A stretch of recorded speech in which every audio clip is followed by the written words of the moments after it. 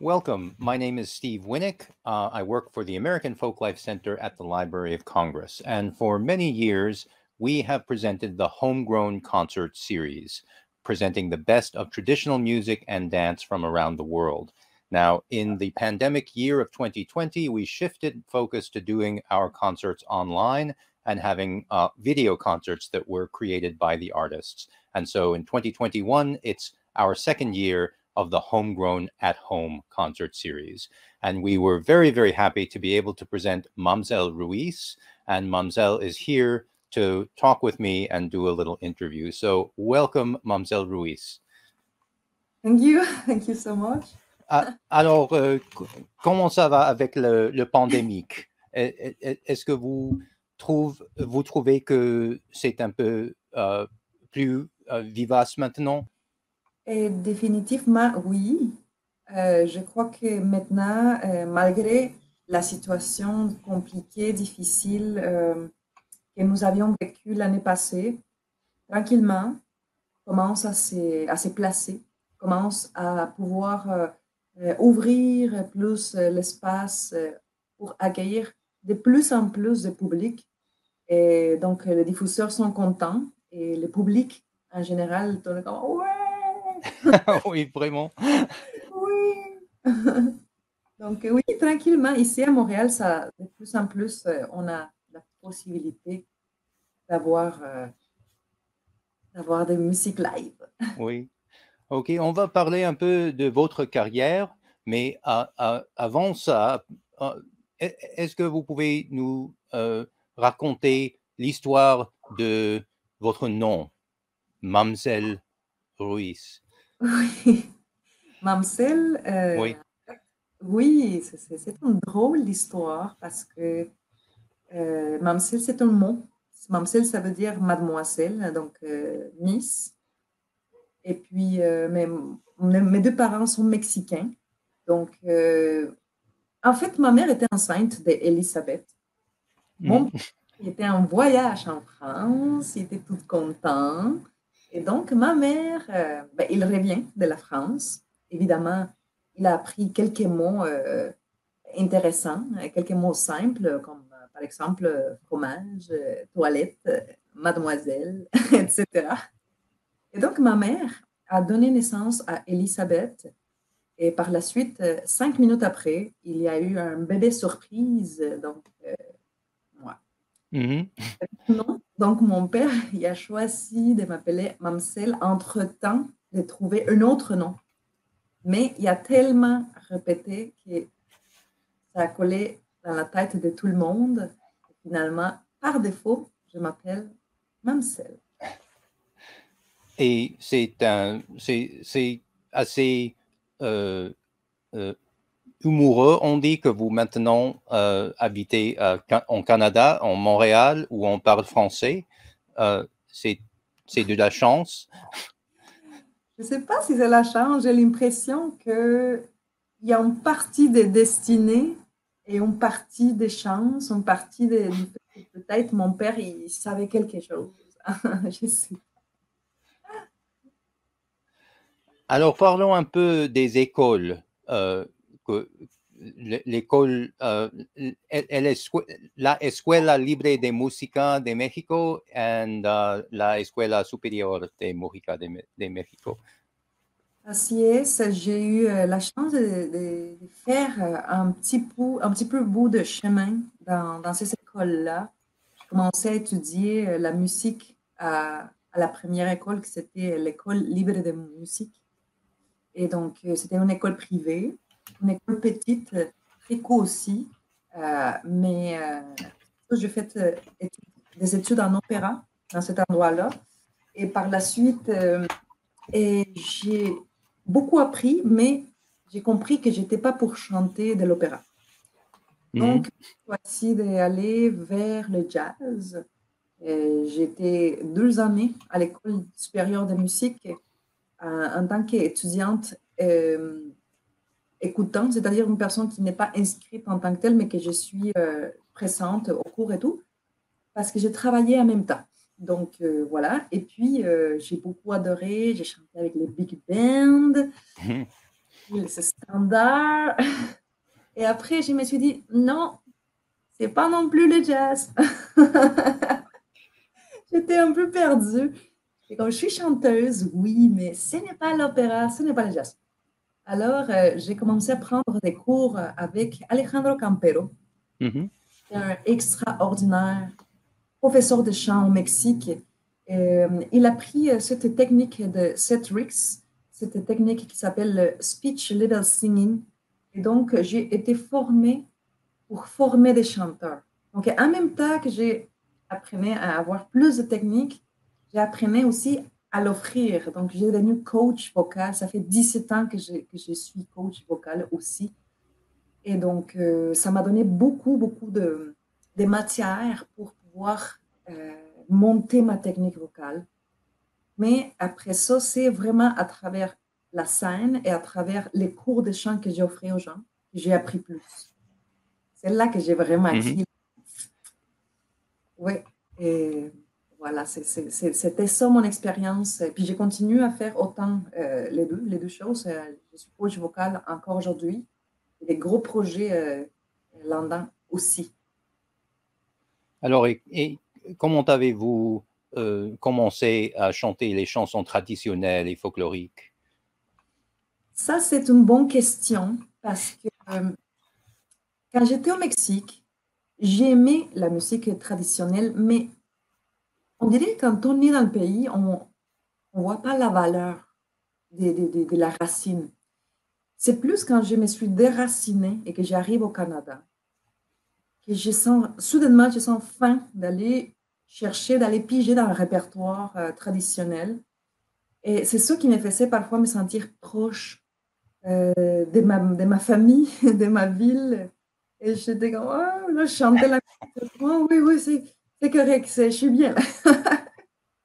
C'est vraiment comme ça que tranquillement, euh, le répertoire traditionnel a commencé à, à s'incarner dans mon cœur, dans ma voix, et qu'il y a des chansons que j'ai jamais pensé euh, chanter, comme par exemple des clichés trop chantés, comme Bésame mucho, par exemple. Nous avons une version qui est sublime, une version que je n'aurais jamais pensé chanter Bésame mucho, tu sais, comme... j'ai- En tout cas, c'est c'est comme ça. Ok, parlons un peu de euh, cette chanson Petrona. Petrona. Petrona, c'est une chanson que, euh, que j'ai appris grâce à un album qui m'a été partagé par une de mes, ma meilleure amie dans des, des jeunesses, euh, avec laquelle je suis très, très proche jusqu'à maintenant. Et cette pièce-là, euh, je la chantais dans la rue souvent, à Mexico. Euh, j'ai beaucoup fait de la musique dans la rue. Et puis, euh, je l'avais sur moi quand je suis arrivée ici. Je commençais à la, à la exploiter, à la chanter. Et je l'ai enregistrée dans, mon, dans un de mes albums, l'album Miel de Cactus. Et par la suite, c'est c'est Putumayo Records qui a choisi de, de prendre la version puis de l'inclure dans la nouvelle version Mexique de Putu- Putumayo Records. Je suis waouh! Wow.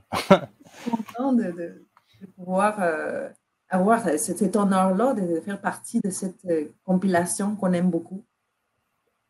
Donc euh, voilà, elle est encore là. Parfois, je la chante encore sur scène. Mhm. Et c'était un moment dans votre carrière, ce moment de, de, Putumayo. Euh, ça, ça a changé beaucoup pour vous? Et pardonnez-moi, encore s'il te plaît. Est-ce que euh, l'album de Putumayo a changé beaucoup pour vous dans votre carrière? Mais en fait, euh, c'est une de, disons, une, euh, en espagnol, on dit una pluma más, c'est-à-dire. C'est pas- c'est una pluma más ou una raya más al tigre? C'est-à-dire que c'est merveilleux parce que nous avons eu la chance de recevoir plusieurs, euh, euh, prix, plusieurs nominations, plusieurs lauréats. Mais et parmi ces honneurs-là, nous avons cette possibilité d'aller d'avoir euh, quand même une chanson dans, cette euh, compilation de Putumayo j'adore. C'est c'est vraiment une compilation que j'ai toujours euh, admirée. J'étais comme, ah, on va écouter certainement Putumayo. Et là, je suis comme, waouh, à côté des grands artistes aussi, faut le dire. Pas n'importe qui qui rentre là, mais je suis comme, oh my God. Et comment avez-vous euh, allé à Québec pour la première fois? Oh oui, ça c'est une bonne question. Mais oh, moi, j'étais choisie pour, euh, pour faire partie d'un projet à La Paz, Mexico, au nord du pays.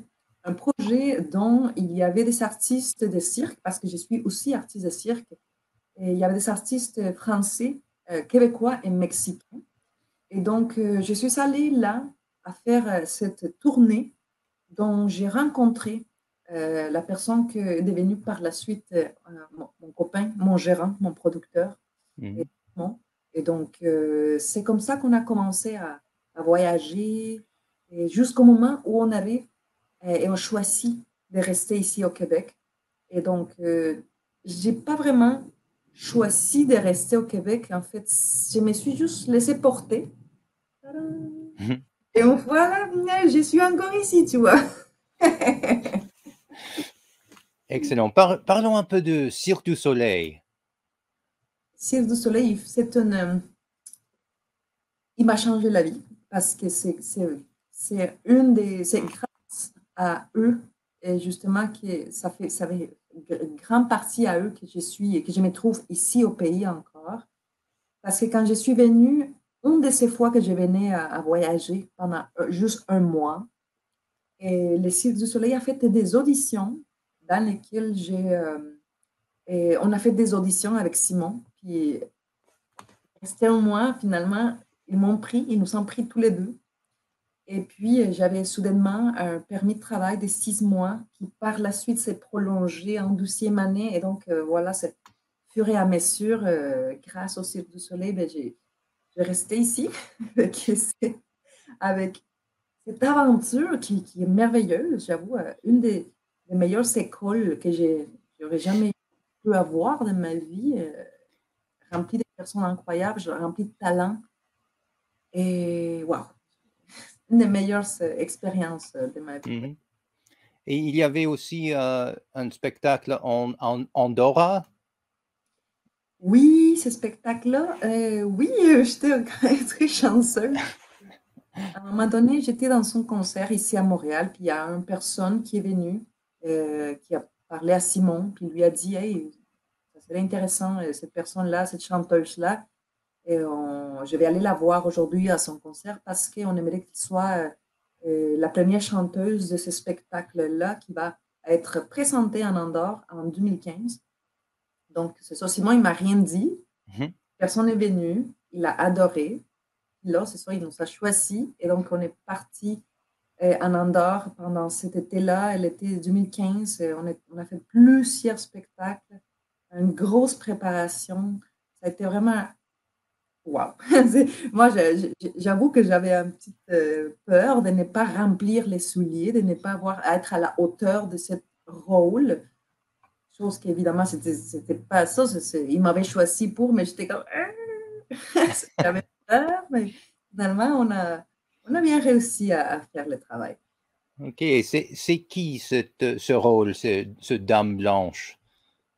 La Dame Blanche, la Dame Blanche, c'est curieux parce que la Dame Blanche est un personnage très populaire dans les histoires locales des villages en, Europe, certains, certains endroits en Europe, dont l'Espagne aussi.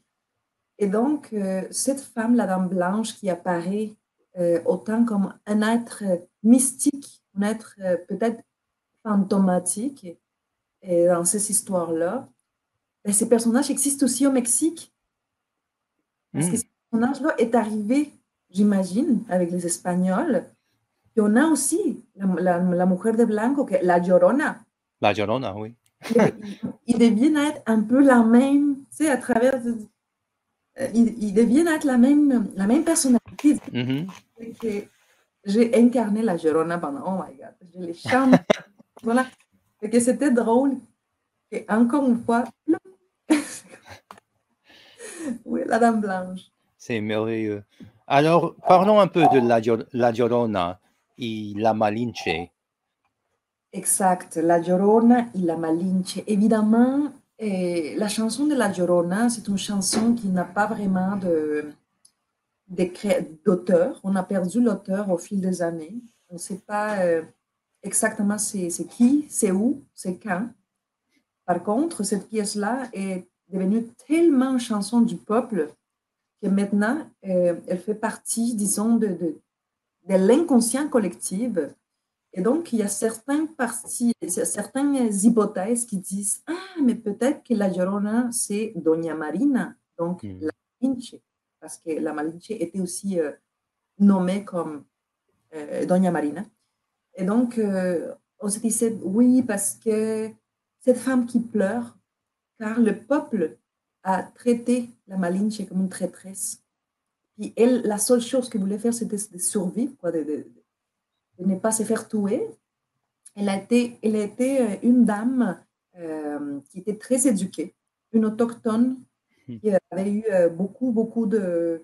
Euh, ben, une histoire difficile parce que même si elle, était, elle venait d'une famille très, euh, très élevée, disons très, très riche ou très éduquée, des autochtones mexicaines, elle a été vendue comme une esclave aux Espagnols. Étant donné qu'elle était très talenteuse pour apprendre les langues, et donc elle a facilement appris à, à, faire les liens entre les Espagnols et les autochtones. Donc, sans vouloir, elle a été une clé maîtresse pour que la colonisation se fasse. Évidemment, le peuple était comme, elle est une traîtresse elle ne savait pas ce qui allait suivre par la suite. Elle voulait juste que ça marche tout. Que... En tout cas, c'est ce que je crois. Là. elle la défend. Là. Mais, euh, mais, en tout cas, c'est ça. Puis, au final, euh, on, intuitivement, on se dit ben, peut-être que cette femme-là, c'est elle qui pleure, c'est celle qui pleure. Et aussi, il y a d'autres légendes de la Llorona qui sont assez dramatiques, que je n'aimerais même pas rencontrer parce, raconter parce qu'elles sont vraiment comme Oh my God, non. C'est vraiment comme non, non, non. Oui, il y a, il y a beaucoup d'histoires de la Llorona. Ah oui. oui, il y, en a, a, a quelques-uns qui sont assez, assez, assez poussés dans le drama. Donc, euh, je préfère rester avec ce côté historique qui est très intéressant. voilà. Ok, parlons un peu de vos albums. Quand, combien mhm. d'albums avez-vous euh, enregistrés? Et, Jusqu'à maintenant, j'en ai enregistré euh, des mois. on est en train de faire le quatrième. Mm-hmm. on a fait euh, Maïs, les, tout premiers, euh, métissage entre ma vie là-bas, ma vie ici, mm-hmm. transition. Miel de cactus, qui est plutôt un, un, petit peu plus établi ici, mais musique traditionnelle mexicaine. Oui. Et, métissé quand même, parce que les musiciens, c'est des musiciens québécois interprète euh, la musique euh, à, à, la manière de l'Amérique du Nord. Fait que c'est super intéressant aussi. Sinon, on a fait Soleil des Lunes, qui était sorti en 2019, juste avant que la pandémie explose. Et maintenant, je suis en train de... Ah ben, on a lancé les épées Sombras, mm aussi de cette euh, vidéoclip. c'est notre bébé qu'on adore. Le clip est comme fantastique en tout cas. Je, je l'aime beaucoup. Et puis, eh, on a fait aussi, euh, on est en train de faire maintenant l'album Eclipse. Et c'est un album beaucoup plus introspectif. En théorie, c'est le côté euh, lune, lunaire des Soleil de Lune. Disons que Soleil de Lune est un album double. Euh, maintenant, le côté rythmé, ensoleillé est sorti. Maintenant, on est en train de finir, fignoler, avancer sur cet album-là et si, si, sinon, euh, on a quelques singles qui ont sorti aussi. Mm-hmm. Et, et d'autres collaborations, évidemment, avec d'autres personnes euh, intéressantes, d'autres grands artistes. Ok, merci. Parlons un peu de ce vidéoclip de Sombras, parce que c'est fantastique, c'est merveilleux, vraiment. J'avoue, je, je reconnais sans aucune arrogance que c'est c'est vraiment une œuvre d'art. Euh, on a commencé avec quelque chose de petit comme idée. Euh, c'est juste que Simon est ambitieux, mais moi aussi je suis ambitieuse, mais lui était on va on s'est dit une église, euh, les loups. J'étais comme non, c'est pas un loup, ça va être un chien. Non, non, non, ça va être un loup. Non, mais ça coûte cher un loup. finalement, il a trouvé un loup. il a fini par trouver un loup. Et on a trouvé aussi, on a fait de belles collaborations avec le ballet mexicain de Montréal et le ballet Raíces de Colombia. On peut voir lors de l'église, ils dansent, puis ils sont des figurants très, très beaux. Nous avons aussi fait la, grâce de nous prêter les costumes pour euh, les musiciens et, tout ça. Et donc, euh, c'était vraiment une aventure des trois jours de tournage. On a filmé euh, la première journée la scène, la scène du, make-up. C'était mm parce que c'est moi qui fais le, maquillage. Mais j'ai dû faire, mettons que je commence les blancs, je chante une fois la chanson, après ça, je fais les noirs. Comme ça. Wow. Après ça, les effets spéciaux, c'est ce qui a coûté le plus cher. Euh, pour pouvoir unir toutes dans un seul moment. Ouf! Quelque chose. Et après ça, c'est ça, l'église magnifique. Euh, mon Dieu, on a trouvé cette église-là à Il venait juste d'être vendu. Après ça, il allait devenir un centre culturel. Et on était comme, ouais, c'est juste la transition. On a comme l'a pris, puis euh, ça marchait. La louve euh, Maya, c'est ça, Simon, il l'a trouvé par les coussins de l'ami del chouchou, de chouchou. Finalement, on a la louve. Finalement, c'est ça, le clip, euh, ça a été le reflet d'un rêve, d'un vrai rêve que j'ai eu. Mm. la pièce musicale, c'est Dominique Gamelin, et mon, mon, directeur musical, et, qui a créé la musique. Et donc, euh, moi, j'avais eu un rêve, puis finalement, il m'a envoyé la pièce, puis j'ai écrit cette histoire-là sur mm que j'avais eu. Carrément, ça fitait. Par la suite, on a généré euh, les rêves en vidéoclip. Un peu, comment on a pu. C'était vraiment. Et voilà, c'est. Après ça, comme, comme j'ai dit, c'est fantastique, vraiment. Ah, alors, euh, alors, parlons un peu de euh, d'écrire des chansons. Vous, euh, vous écrivez vos, vos chansons et qu'est-ce que c'est qu'est-ce que euh, votre procès pour faire ça? Je pousse pas le procès, c'est-à-dire que, la, procédure, de, je laisse la créativité arriver quand elle veut arriver. Mmh c'est sûr que la créativité, pour moi, ça reste un muscle à travailler.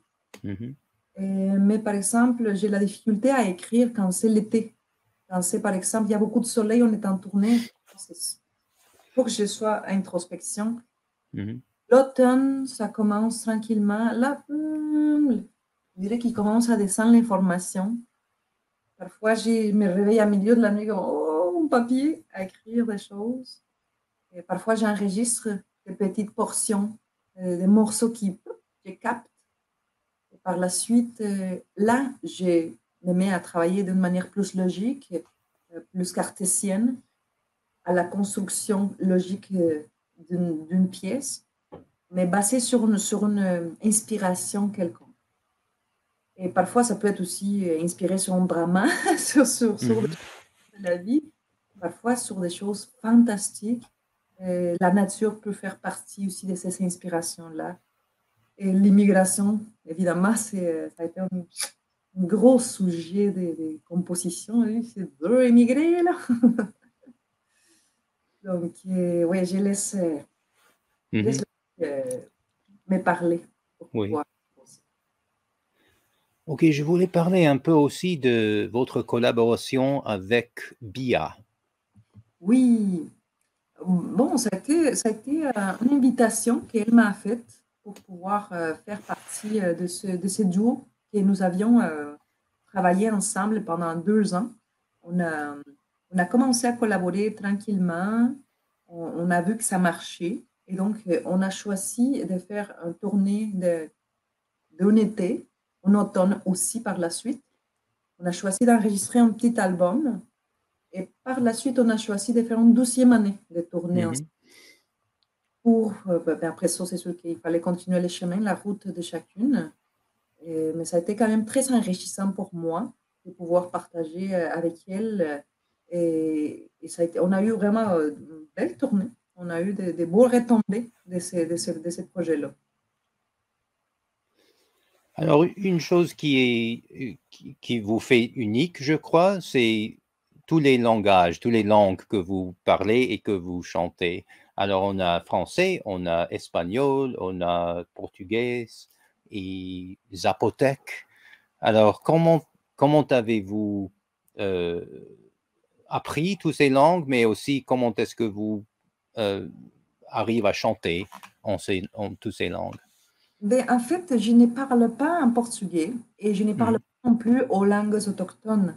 Par contre, j'adore pouvoir explorer dans ma bouche les différentes langues parce que moi, en tant qu'enseignante, je vois à quel point euh, chaque langue utilise différentes portions de notre euh, mécanisme. Et donc, je suis curieuse. Là, comment comment l'italien, par exemple, peut venir incarner mm-hmm. sans que je sens fausse, sans que j'ai pour que je puisse euh, être, avoir une voix authentique moi-même euh, dans cette version-là. C'est comme aller trouver mon âme dans différentes versions. Donc, euh, je parle espagnol, je chante espagnol, aussi l'anglais, un petit peu l'anglais, et más o menos. Le français, parce qu'il a pris beaucoup de place, le français. Mais, mais j'adore chanter en différentes langues et je vais continuer à explorer. Alors, nous avons rencontré euh, Mamzelle Ruiz à Folk Alliance International. Parlons un peu de Folk Alliance. Wow, Folk Alliance, c'est vraiment une famille euh, incroyable, des gens qui croient dans la culture et que c'est ça, c'est une grande opportunité pour moi de, pouvoir faire partie de cette palette, de cette vitrine. Et j'adore Gilles, j'adore les gens qui, euh, qui, nous ouvre la porte et qui travaille tellement fort pour que nous, on puisse continuer nos chemins. Euh, moi, je dis, c'est, je, s'appelle les grands, les grandieux invisibles parce qu'on ne les voit pas, les gens qui travaillent en arrière de ces organismes-là. Et c'est grâce à eux, souvent, grâce à ce genre de, personnes qui sont engagées profondément à pouvoir euh, faire en sorte que ça continue à couler l'art d'un côté à l'autre c'est merveilleux. Merci beaucoup, Franck Oui. Alors, parlons un peu du procès pour enregistrer le joli concert que vous avez fait pour nous dans le Homegrown at Home series. Mais pour vrai, là, c'est, ça donnait magique. Ça donnait qu'on on, avait une été comme... Parce que l'été que nous avions eu cette année, je ne sais pas chez vous aux États-Unis, mais ici, à, un mois de mars, on n'avait rien. Oui. Et soudainement, un mois de, genre d'avril, on avait tout. On était comme, wow, calmez-vous. Alors, euh, c'est sûr, l'été est passé, puis nous, on a, il fallait qu'on qu'on ait du temps pour, pour faire ce tournage-là. Mais finalement, on s'est dit, bon, eh, la date approche, puis on n'est pas on va un loft à Montréal. Et soudainement, il y a quelqu'un qui Moi, j'ai un loft. Et l'équipe, c'est comme. on a quand même une équipe déjà formée. Et donc, euh, c'est la maison à Guillaume, c'est toute l'équipe des caméras, la famille à Simon, euh, les, musiciens qui sont un amour. Tout le monde a apporté leur micro, leurs affaires, l'équipement de tout le monde. Et puis, on se dit, ben, on y va, go. C'était vraiment spontané pour vrai. Là, oh my God. On a vu le, le résultat, était comme, oh my God, on est, on est bon. C'était comme, c'est pas facile, c'est comme de faire des vidéos comme, c'est comme nouveau. Apprendre à faire des vidéos maison, avec la qualité, que c'est quand même euh, la librairie de Washington, on voulait quand même faire quelque chose de beau. C'était comme, oh, ok, il va que ça soit beau. Et on est content quand même du rendu. Et on est content que vous ayez aimé aussi. OK, que sont vos projets dans le futur? Bon, les, projets euh, qui s'en viennent, euh, cette année, cet été qui s'en vient, j'ai fait une collaboration en duo avec euh, le chanteur, le grand chanteur italien Marco Cagliari. Et on est en train de préparer ça, c'est ça, ce concert-là en duo. Et puis, euh, on prépare aussi la, la sortie de l'album Eclipse, mais il n'est pas prêt encore. On, pensait qu'on voulait sortir cet hiver, mais finalement, ça ne sera pas cet hiver. Parce que Covid est comme. on reste fluide. Et donc, on va prendre le temps de bien finir euh, cet album-là, probablement à l'automne. On verra. Et donc, euh, en février, on va, on va être à Rideau. Donc, je ne sais pas si vous allez être à Rideau, mais nous, on va, on va aller à Rideau. Et donc, euh, je ne sais pas si vous savez qu'est-ce que c'est à, la ville de Québec. Cette vitrine showcase euh, très, très populaire. Et qu'on va être là-bas. Et donc, on espère qu'on va pouvoir remettre sur pied de toute la tournée qui a tombé à l'eau parce que Soleil des Lunes, on, a, on, a, on avait un tournée international qui était quasiment en train de se, boucler. C'était fantastique. On allait aller à Paris, on était allé à LA, on était allé au Mexique. Et on était là. Mm. avait été allé à Japon avant le spectacle. Mm-hmm. New York avant. On était allé à, en France aussi, à, à EPA. Et on avait comme beaucoup de possibilités qui soudainement s'impliquent. Et que cette année, on espère que on va pouvoir euh, tranquillement se remettre sur pied puis continuer à faire notre beau métier qu'on adore. OK. Est-ce qu'il y a quelque chose d'autre que vous voulez communiquer à nos audiences ici? Et soyons euh, le plus possible connectés à nous-mêmes. Euh, écoutons beaucoup de musique pour être connectés à nous-mêmes.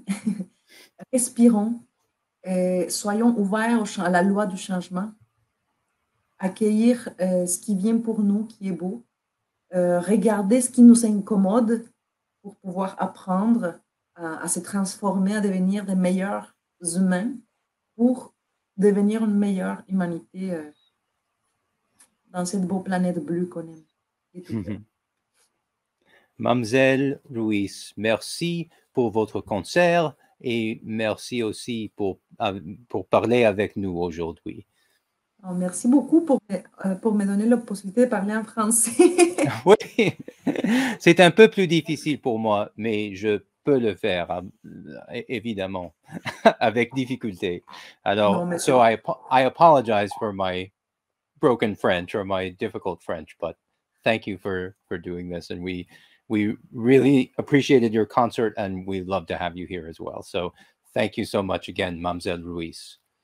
Thank you too, and uh, see you later or see you soon, I think, in Washington. In I hope so. so.